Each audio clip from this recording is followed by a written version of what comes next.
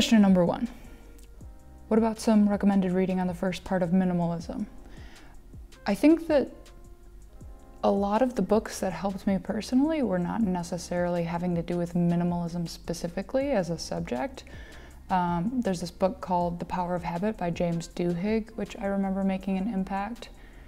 Um, Start with Why by Simon Sinek. Would you consider yourself an essentialist? I guess so. It, it, all depends what your definitions of minimalism and essentialism and simple living and etc. are. I adopted the word minimalism for myself because it was really the first one that I knew of and it fit me. And I think I just held on to it because I've had it for so long that it, it still feels comfortable. Uh, if someone told me I was an essentialist, I wouldn't say, no, you're wrong, I'm not. How to deal with the feeling of thinking and feeling like you still have stuff to declutter. Uh, example, there's this shirt that is green with math signs and I love it, but it looks so bad on my body and I don't know what to do because I don't use it, but I love how it looks and it has a lot to do with my personality. I think that you could find different uses for an item like a t-shirt. So you could make it into a pillowcase. You could cut it and put it in a frame and hang it on your wall. You could just wear it as a pajama shirt. You know, you don't need to necessarily wear it as a t-shirt out in public if you don't feel confident in it, but it doesn't necessarily mean that it's not giving you joy, adding value to your life. You know, it doesn't mean that you need to get rid of it if you're not uh, willing to go out in public in it. Actually, I have one of my own. One minute. Ta-da! I have this sweatshirt. Noah's Ark is a water park in uh, Wisconsin that I went to. This is probably from before I was even a teenager. And it was big on me. Now it fits me. And there's paint and chocolate and uh, one of the sleeves is ripped, but I wear it around the house. I wear it to sleep and it still is so soft and there's no reason for me to get rid of it yet until I completely destroy it. But I'm definitely not like going out on the town in this sweatshirt. What made you decide to become a minimalist? It really started when I graduated high school and was moving away to college and I realized that I had a lot of stuff in my room and I had to kind of figure out what I wanted to bring with me. And then I ended up donating a lot of stuff. This was like 2010, so that was 10 years ago. Um, I didn't really, I, I wouldn't say I decided to become a minimalist. The ideas just resonated with me. And at that point in time, especially, um, it helped me in what I was trying to do. Did that answer the question? What is your story and reason for starting this journey? Yeah, flexibility. Um, moving around, trying different ways of living too, experimenting. I'm all about that, experimentation. A lot of questions about my clothes. What's the benefit of a minimalist color palette in your living space and appearance? Um, I wouldn't say I have a minimalist color palette in my living space. My furniture, a lot of it is hand-me-down or it's cheap furniture that I've gotten from Craigslist. Um, and so that's just kind of happenstance. I chose black because I sweat a lot and because I spill stuff on myself.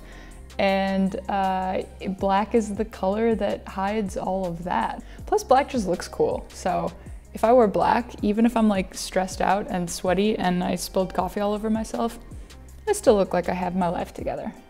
How did you find the perfect black t-shirt for you? Uh, my perfect black t-shirt happened to be just a t-shirt that I bought one time on a whim because I wanted a loose neck black t-shirt and then it ended up being my favorite shirt. So every time I do laundry, it would be the first shirt that I would reach for.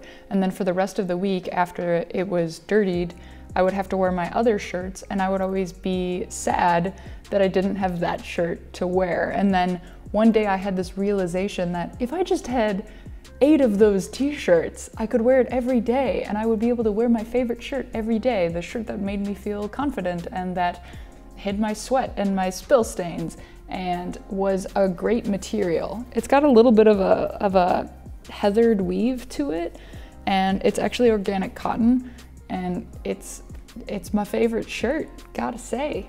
Yes, but where did you get those pants from? Pants are actually something that I still have not found the perfect pair, although these ones that I'm wearing, these, they're uh, Nudie Jeans, organic cotton, pretty much my favorite at this point. I still have uh, some complaints about them, but even since I started making videos, I've worn pants from Prana and Patagonia and Lululemon and a different pair of nudie jeans pants and this is what I'm at now. Um, oh, and Carhartt. And I still have not found the pair that I love as much as I love this t-shirt. So that's still kind of a work in progress. I think that you should try something out for a couple of months, really, before you can determine what you don't like about it and what you're trying to find in a new pair of pants before you decide that you want to switch to something else. That's just my personal opinion. Try to stick with it see what's wrong with it, and try to find something that solves that problem. How do you keep your digital life minimal? And how can I minimalism of my thoughts?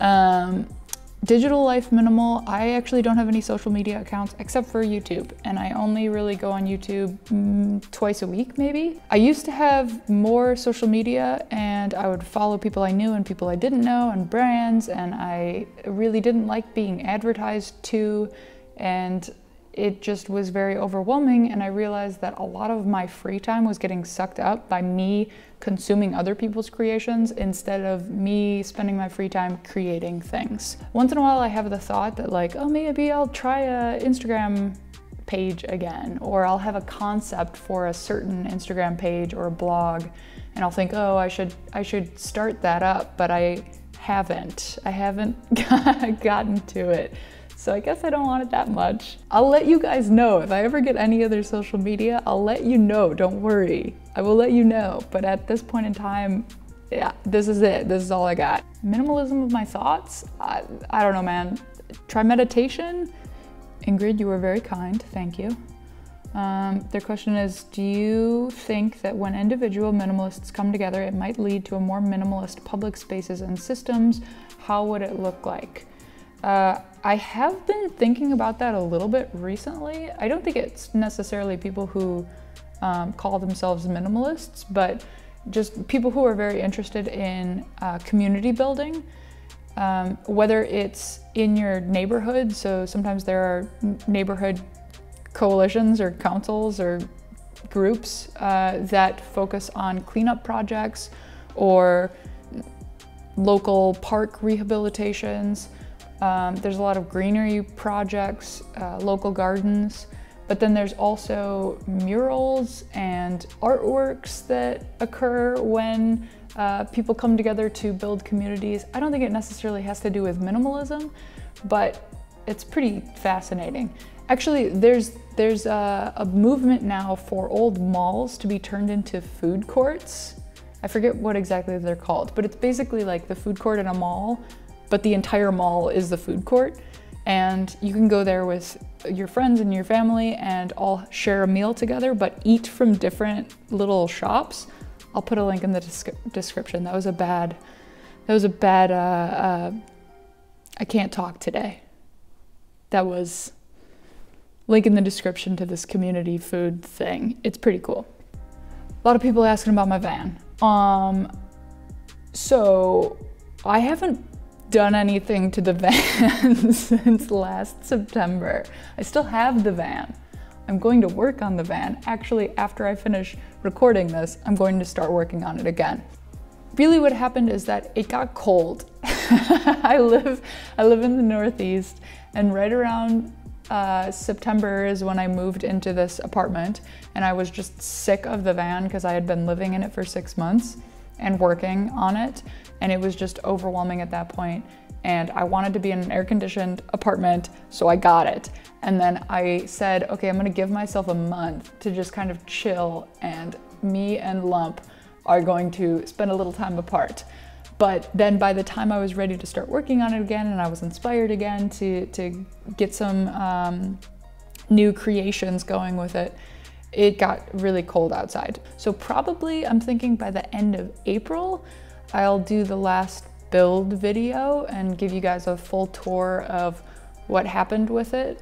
but it's still gonna be kind of a work in progress in terms of I wanna like add some some artwork to it. I think I might paint. I've always wanted to learn rosemaling. It's a Norwegian folk art. And so I think I might add some rosemaling to the van. It's gonna be a struggle. I've never done it before, so it's gonna be interesting. I hope I don't mess it up. How did you decide what things to bring back into your life? And also, what does post minimalism look like for you? Um, I have brought a few things back into my life.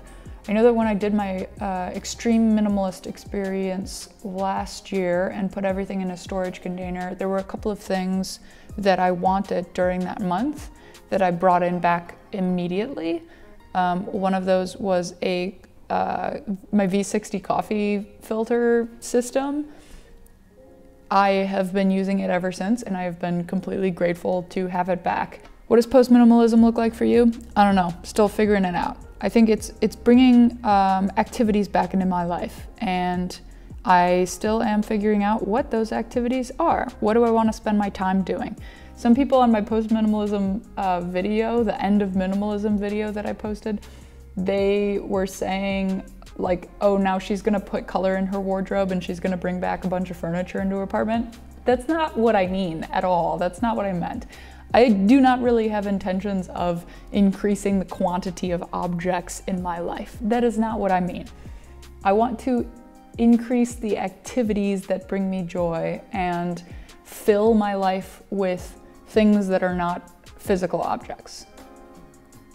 I hope that was clear to those of you who were confused. Be awesome emojis now. Ooh, time. Hmm. Hmm. So I posted a video last week showing you really how much cleaning I do every week. Sometimes it's more than that, sometimes it's less than that, but it's usually just a couple of hours and I do it on the weekend. On weekdays, I pretty much wake up and do like a simple morning routine and then I go to work. That pretty much takes up all of my weekday time. When I come home, I go to the gym or I'll watch a movie and relax and on weekends, I spend one day doing this pretty much, or I might travel around. I live by a couple of big cities, so sometimes I'll go to the cities, um, I'll visit people, hang out with friends, or I will. What else do I do? I like going to coffee shops, and I spend a lot of time on the internet, and I like reading, and yeah. It's a pretty simple life, you know? You spend your time with people and you spend your time with increasing your skills and you work because you gotta feed yourself and pay your rent.